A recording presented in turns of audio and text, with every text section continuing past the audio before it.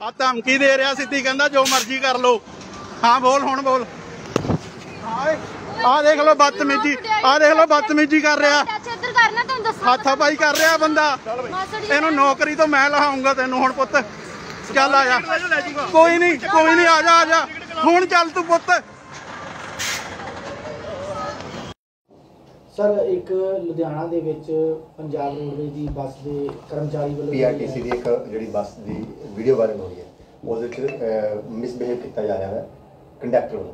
ਇਸ ਉੱਤੇ ਕੀ ਕਾਰਵਾਈ ਕੀਤੀ ਜਾਊਗੀ ਔਰ ਕੀ ਇਹ, ਲੈ ਕੇ ਇਸ ਨੂੰ ਲੈ ਕੇ ਹਾਂ ਇਹ ਜਿਹੜੀ ਬੱਸ ਦੀ ਵੀਡੀਓ ਵਾਇਰਲ ਹੋਈ ਦੇਖੀ ਹੈ ਇਹ ਬੱਸ PB04B 3047 ਫਰੀਦਕੋਟ ਡਿਪੂ ਨਾਲ ਸੰਬੰਧਿਤ ਹੈ। ਤੇ ਜਿਹੜੀ ਤੁਹਾਡੀ ਇਹ ਹੈਗੀ ਆ ਵੀਡੀਓ ਵੀ ਮੈਂ ਜੀਐਮ ਫਰੀਦਕੋਟ ਨੂੰ ਭੇਜ ਦਿੰਦਾ। ਤੇ ਉੱਤੇ ਬਣਦੀ ਕਾਰਵਾਈ ਜਿਹੜੀ ਕੀਤੀ ਜਾਊਗੀ। ਪਰ ਉਹ ਜਿਹੜਾ ਮ- ਇਹ ਜੇ ਮਿਸਵੇ ਕੀਤਾ, ਬੜੀ ਮਾੜੀ ਗੱਲ ਇਹ ਤਾਂ ਹਾਂ, ਇੱਥੇ ਬਣਦੀ ਕਾਰਵਾਈ ਹੋਣੀ ਵੀ ਚਾਹੀਦੀ ਹੈ।